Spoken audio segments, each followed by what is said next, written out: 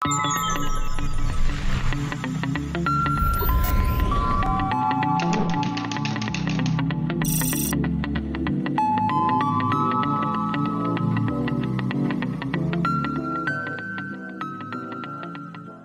WordPress के साथ ताल्लुक कोई 12 साल पुराना है।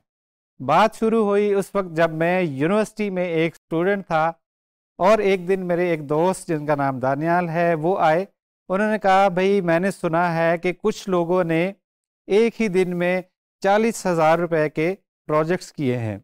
And I was like wow but how तो उसका आंसर उन्होंने दिया कि कोई फ्रीलांसिंग नाम की कोई चीज़ है जिसको यूज़ करते हुए आप पैसे बना सकते हैं। अब फ्रीलांसिंग होती क्या है? कहाँ पे कर सकते हैं? उसके लिए क्या क्या चीज़ें चाहिए होती हैं? ये बिल्कुल भी पता नहीं था। फिर इसी तरह कुछ रिसर्च इंटरनेट पे की और कुछ दोस्तों से पूछा तो उसके जवाब मिला कि ओ डेस्क नाम की एक साइट है या प्लेटफॉर्म है जहाँ पे दुनिया भर से लोग अपने प्रोजेक्ट्स पोस्ट करते हैं। तो ये जान लेने के बाद मैंने भी ओ डेस्क पे अपना अकाउंट क्रिएट किया और डिफरेंट जॉब्स पे अप्लाई करना शुरू कर दिया। कुछ ही दिनों बाद मुझे एक प्रोजेक्ट मिल भी गया। लेकिन वो मैं प्रोजेक्ट डिलीवर नहीं कर पाया और उसकी वजह ये थी कि मैं उस वक्त स्टूडेंट था, उस वक्त मेरे प्रोग्रामिंग के स्किल जो है वो बिल्कुल ही बेसिक लेवल पे थे। वो क्या कहते हैं, भरोसा गाल, गालिब खुद पे ज़्यादा कर लिया था। तो वो मैंने अपनी बसात से बढ़ के एक प्रोजेक्ट ले लिया, लेकिन वो मुझसे हो नहीं पाया। तो मैंने क्लाइंट से माजरत की कि ये मेरे जो अभी के स्किल सेट है, उससे बहुत ज़्यादा प्रोजेक्ट है और मैं इसको डिलीवर नहीं कर सकता। तो फिर मैंने ऐसे प्रोजेक्ट्स देखने शुरू किए जिनके लिए प्रोग्रामिंग या तो बिल्कुल नहीं चाहिए थी या बिल्कुल ही बेसिक लेवल पे चाहिए थी, जितनी मेरे पास उस वक्त प्रोग्रामिंग थी, उस उस वक्त मेरी प्रोग्रामिंग का जो लेवल था। तो फिर मैंने ओ डेस्क पे प्रोजेक्ट देखना स्टार्ट किए कि किस किस किस्म के प्रोजेक्ट्स ओ डेस्क पे आ रहे हैं और कौन सी कैटेगरी में सबसे ज़्यादा प्रोजेक्ट आ रहे हैं। क्योंकि जहाँ पे ज़्यादा प्रोजेक्ट आ रहे हैं, उसका मतलब है वहाँ पे प्रोजेक्ट विन करने के चांसेस भी ज़्यादा हैं। ऑब्वियसली कंपटीशन भी ज़्यादा होगा, लेकिन चांसेस भी ज़्यादा होंगे कि मैं कोई प्रोजेक्ट विन कर पाऊँ। तो फिर मैंने देखा कि कुछ कैटेगरीज जिनमें सबसे ज़्यादा प्रोजेक्ट्स आ रहे थे, उनमें एक कैटेगरी थी वेब डेवलपमेंट की। फिर वेब डेवलपमेंट को मैंने फर्दर एक्सप्लोर करना शुरू किया कि वेब डेवलपमेंट में किस किस किस्म के प्रोजेक्ट्स आ रहे हैं। कौन सी टेक्नोलॉजीज़ के प्रोजेक्ट्स आ रहे हैं? कौन से ऐसे प्रोजेक्ट्स हैं जिनके लिए प्रोग्रामिंग कम चाहिए होती है? तो वहाँ पे मुझे मुख्तलिफ़ चीज़ें नज़र आई। उनमें सबसे पहले नंबर पे था वर्डप्रेस उसके बाद था जूमला एंड उसके बाद था ड्रूपल इन तीनों पे मैंने काम करना शुरू किया और तीनों की सर्विसेज़ प्रोवाइड करना शुरू कर दी। जुमला को यूज़ करते हुए ड्रूपल को यूज़ करते हुए और वर्डप्रेस को यूज़ करते हुए मैंने क्लाइंट्स को वेबसाइट्स बना के देना शुरू कर दी। कुछ अरसे के बाद मुझे फील हुआ कि मुझे जो है वो वर्डप्रेस के प्रोजेक्ट्स करने में ज़्यादा मज़ा आता है, क्योंकि उसमें बहुत सारे रिसोर्सेज अवेलेबल हैं, उसमें टेम्पलेट्स बहुत ज़्यादा मिल जाते हैं, उसका कोड जो है वो इजी टू अंडरस्टैंड है, उसकी कम्युनिटी बहुत बड़ी है in case of any problem उनके पास बहुत बड़े फोरम्स हैं उनकी कम्युनिटी है वहाँ पे उनका कोडेक्स है। तो मुझे लगा कि ये चीज़ जो है, बहुत ही ज़बरदस्त किस्म की चीज़ है। और जो मैंने प्रोजेक्ट्स ज़्यादा किए थे, वो भी वर्ड के ही थे। फिर मैंने फैसला किया कि अब मैंने जो भी काम लेना है, वो सारा मैंने वर्ड का ही लेना है। मैंने जो दूसरे प्लेटफॉर्म्स थे, उनका काम मैं नहीं लूँगा। इस तरह वर्ड के साथ जर्नी स्टार्ट हुई। ग्रेजुएशन के बाद मैंने दो साल के लिए जॉब की। लेकिन उन दो सालों में मैंने सीखा भी बहुत, लेकिन मुझे ये फील हुआ कि जॉब के मुकाबले में फ्रीलांसिंग में ज़्यादा पोटेंशल है। ज़्यादा काम करेंगे तो ज़्यादा पैसा आएगा, लेकिन ये सिर्फ़ था जब आप फ्रीलांसिंग कर रहे हो। अगर आप किसी कंपनी के लिए काम करते हैं तो आपको वही फिक्स सैलरी मिलनी है जो को आपको महीने के एंड में मिलनी है। लेकिन फ्रीलांसिंग में अगर आप 10 प्रोजेक्ट्स करेंगे तो उसकी अर्निंग आपकी डिफरेंट होगी। अगर आप 20 प्रोजेक्ट्स करेंगे तो उसकी अर्निंग आपकी डिफरेंट होगी। तो उसके बाद मैंने डिसाइड किया कि मैं अब फुल टाइम फ्रीलांसिंग ही करूँगा और वर्ड में रहते हुए ही अपना एक नाम बनाऊँगा। उसके साथ साथ मैंने गवर्नमेंट सेक्टर के लिए वर्ड के कोर्स करिकुलम को भी तरतीब दिया, जो कि अभी तक पंद्रह हज़ार से ज़्यादा स्टूडेंट्स को पढ़ाया जा चुका है। और उनमें बहुत सारे स्टूडेंट्स जो है, वो बहुत अच्छा अर्न भी कर रहे हैं वर्ड को यूज़ करते हुए। उसके साथ साथ 2015 में मैंने वर्ड प्रेस मीटअप्स पाकिस्तान के नाम से एक इनिशिएटिव का आगाज़ किया, जिसमें स्पेसिफिकली लाहौर से मैंने उसका स्टार्ट किया, जहाँ पे हम हर महीने वर्ड प्रेस की सेमिनार्स और वर्कशॉप्स मुनद करते थे। पूरे पाकिस्तान में अब वर्ड प्रेस के मीटअप्स होते हैं। इस्लामाबाद में भी होते हैं, फैसलाबाद में भी होते हैं, मुल्तान में भी होते हैं और कराची में भी होते हैं। इसी तरह और डिफरेंट सिटीज़ के लोग जो हैं वो खुद से अपने अपने सिटीज़ में वर्ड के हवाले से सेमिनार या मीटअप्स मुनद कराते हैं। मैं एक छोट, नहायत ही छोटे से कस्बे से ताल्लुक़ रखता हूँ और कंप्यूटर साइंस में जाने का मेरा कोई भी इरादा नहीं था। लेकिन जब मुझे इस इदारे की तरफ़ से स्कॉलरशिप मिली तो मैंने यूनिवर्सिटी में इनरोल किया और वहीं से मेरी, मेरा ताल्लुक जो है वो वर्ड के साथ बना और फ्रीलांसिंग के साथ बना। और आपको जान के ये खुशी होगी कि ये वही इदारा है जिसकी वजह से आप ये डिजी स्किल का कोर्स देख रहे हैं। उस वक्त इस इदारे का नाम I C T R and D fund होता था, अब इस इदारे का नाम है इग्नाइट सो मैं भी इसी इदारे की वजह से यहाँ से आपके लिए ये कोर्स लेके आया हूँ और ये बेहतरीन सिलसिला ये ज़बरदस्त किस्म का लर्निंग का सिलसिला, ये दूसरों को इंस्पायर करने का सिलसिला, ये यूँ ही इन चलता रहेगा।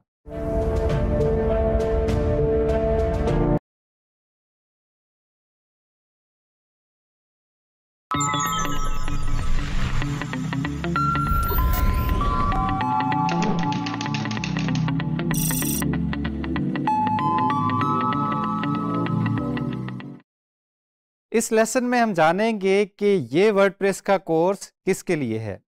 तो इस कोर्स में हमने इसके दो पहलू या दो पार्ट्स बनाए हैं। पहला पार्ट उन लोगों के लिए है जो कि कंप्यूटर से रिलेटेड नहीं है या उनको कंप्यूटर प्रोग्रामिंग नहीं आती या वो सीखना भी नहीं चाहते हैं। ये वाला पार्ट होगा नो कोड पार्ट। इसमें बगैर किसी कोडिंग की नॉलेज के, बगैर कोई कोड की लाइन लिखे हम आपको सिखाएँगे कि आपने वर्डप्रेस का इस्तेमाल करते हुए डिफरेंट किस्म की वेबसाइट्स कैसे बनानी है। हम आपको बताएँगे कि वर्डप्रेस का बेसिक यूज़ कैसे करना है, वर्डप्रेस के एडमिन में क्या क्या ऑप्शंस होते हैं और वर्डप्रेस में थीम्स क्या होते हैं, प्लगइन्स क्या होते हैं और different combination of themes and plugins को यूज़ करते हुए आपने किसी भी किस्म की बेहतरीन वर्डप्रेस की साइट कैसे बनानी है? वो साइट आपका ई कॉमर्स का स्टोर हो सकता है, वो साइट एक सिंपल ब्लॉग हो सकता है, वो साइट एक मेंबरशिप पोर्टल हो सकता है, वो साइट एक लैंडिंग पेज हो सकता है, किसी भी किस्म की आपने वेबसाइट बनानी है तो आप इस कोर्स के इस पार्ट को कंप्लीट करने के बाद वो वेबसाइट बना सकेंगे, बगैर किसी कोडिंग की नॉलेज के। उसके लिए आप डिफरेंट प्लगइन्स यूज़ कर रहे होंगे डिफरेंट पेज बिल्डर्स यूज़ कर रहे होंगे डिफरेंट थीम्स यूज़ कर रहे होंगे और हम आपको पॉपुलर थीम्स और प्लगइन्स का बताएँगे कि कौन कौन से थीम्स एंड प्लगइन्स के कॉम्बिनेशन से आप डिफरेंट किस्म की वेबसाइट्स जो है वो बना सकते हैं। अब ये तो हो गया बगैर कोडिंग वाला पहलू। वो ये उन सब लोगों के लिए है जो कि कंप्यूटर साइंस से ताल्लुक़ नहीं रखते, वो वर्डप्रेस को सीखना चाहते हैं अपनी वेबसाइट्स खुद बनाना चाहते हैं या वेबसाइट्स की, वेबसाइट डिज़ाइन और डेवलपमेंट की सर्विसेज़ क्लाइंट्स को ऑफ़र करना चाहते हैं, वो भी बगैर किसी कोडिंग के, नॉलेज के। इस कोर्स का जो दूसरा पहलू है, वो है डेवलपमेंट से रिलेटेड। अब डेवलपमेंट में हम आपको बताएँगे कि आपने वर्डप्रेस का थीम कैसे डेवलप करना है, वर्डप्रेस का प्लगइन कैसे डेवलप करना है या ऑलरेडी एग्जिस्टिंग थीम में आपने चेंजेस कोई करनी है, कोई टेम्पलेट आपने चेंज करने हैं तो वो कैसे करने हैं? और जब भी आप वर्डप्रेस के किसी प्लगइन या किसी थीम में कोई चेंज करने के लिए आप जाते हैं तो सबसे पहला क्वेश्चन आपका ये होगा कि ये जो पार्ट है फॉर एग्जांपल फ्रंट एंड पे कोई मॉड्यूल नज़र आ रहा है, कोई पार्ट नज़र आ रहा है तो सबसे पहला आपके माइंड में क्वेश्चन आएगा कि ये कौन सी फ़ाइल इसे जनरेट कर रही है। अगर थीम में आपके फॉर एग्जांपल एक सौ फाइल्स हैं, और आपने कोई एक कोई मखसूस हिस्सा उसका कस्टमाइज करना है थीम का तो आपको वो मतलूबा फ़ाइल चाहिए होगी कि जिस फ़ाइल में जाके आप उसका कोड चेंज करें और वहाँ पे आपको चेंजेस नज़र आए। तो उसके लिए हम आपको वर्ड की टेम्पलेट हैरारकी पढ़ाएँगे कि वर्ड में कौन सा हिस्सा किस फ़ाइल से जनरेट होता है। उसके साथ साथ अगर आपने वर्ड के प्लगइन खुद के बनाने हैं तो वो भी आपको बताया जाएगा कि वर्ड का प्लगइन जो है वो कैसे बनता है। या अगर आपके पास एक नहायत खूबसूरत डिज़ाइन है, लेकिन वो वर्ड में नहीं है, आप उसको वर्ड के थीम में कन्वर्ट करना चाहते हैं तो ये भी आपको बताया जाएगा कि उसको इस थीम में कैसे कन्वर्ट करना है। या आप वर्डप्रेस की डिफरेंट सर्विसेज़ देना चाहते हैं फाइवर के प्लेटफॉर्म पे अपवर्क के प्लेटफॉर्म पे, या किसी और फ्रीलांसिंग प्लेटफॉर्म पे तो उसमें हम आपको सिखाएँगे कि फॉर एग्जांपल एक एग्जांपल सर्विस क्या बन सकती है कि आप वर्डप्रेस की माइग्रेशन की सर्विसेज़ दे रहे हैं वर्डप्रेस की सिक्योरिटी की सर्विसेज़ दे रहे हैं तो माइग्रेशन के हवाले से भी आपको बताया जाएगा कि अगर आपने कोई वर्डप्रेस की साइट एक डोमेन से या एक सर्वर से किसी दूसरी डोमेन या सर्वर पे लेके जानी है तो उसके मुख्तलिफ़ तरीके क्या होंगे? उसको अगर आप प्लग इन के थ्रू करना चाहेंगे तो वो कैसे होगा? या आपके केस में अगर प्लग इन काम नहीं कर पा रहा फॉर एनी रीज़न तो आपने उसको मैनुअली कैसे एक जगह से उठा के दूसरी जगह कैसे लेके जाना है? तो ये कोर्स उसके लिए है जिसको प्रोग्रामिंग आती है। ये कोर्स उसके लिए है जिसको प्रोग्रामिंग नहीं आती। तो आप में से किसी ने भी घबराना बिल्कुल नहीं है क्योंकि हम कोड के साथ भी काम कर रहे होंगे इस कोर्स में और कोड के बगैर भी काम कर रहे होंगे। सो ये कोर्स सबके लिए है आपके लिए है और मेरे लिए है क्योंकि आ, मैं आपको सिखाऊँगा और आपको सिखाते सिखाते कुछ चीज़ें जो है वो मैं भी सीखूँगा। लेकिन आखिर में मैं ये भी बताता चलूँ कि ये कोर्स किसके लिए नहीं है? ये कोर्स उसके लिए नहीं है जो कि रातों रात अमीर बनना चाहता है। ये कोर्स उसके लिए नहीं है जिसको लगता है कि मैं आज काम शुरू करूँगा या करूँगी और ऊपर से पैसों की जो है वो बरसात शुरू हो जाएगी। क्योंकि अगर आप हार्ड वर्कर हैं तो ये कोर्स आपके लिए है। लेकिन अगर आप शॉर्टकट्स की तलाश में हैं अगर आप चाहते हैं कि काम ना करना पड़े और स्किल ना सीखनी पड़े और फिर भी जो है वो पैसे आसमान से टपकना शुरू हो जाएँ तो ये कोर्स आपके लिए बिल्कुल नहीं है। ये कोर्स आपके लिए है, अगर आप हार्ड वर्कर हैं। फिर रिगार्डलेस कि आपका ताल्लुक कंप्यूटर साइंस के शोबे से है या नहीं है, क्योंकि बगैर कोड के आप एक वर्ड के बेहतरीन किस्म के आर्टिस्ट बन सकते हैं। आपके पास आर्ट होगा कि आप डिफरेंट प्लगइन्स और थीम्स के कॉम्बिनेशन को यूज़ करते हुए किसी भी किस्म की वेबसाइट बना लेंगे वर्ड पे। लेकिन अगर आपके पास प्रोग्रामिंग स्किल्स हैं या आप विलिंग हैं कि आप उनको सीख लेंगे तो आप वर्ड के डेवलपर बन सकते हैं फ्रंट एंड डेवलपर बन सकते हैं बैक एंड डेवलपर बन सकते हैं, या आप दोनों सीख के आप वर्ड के फुल स्टैक डेवलपर भी बन सकते हैं।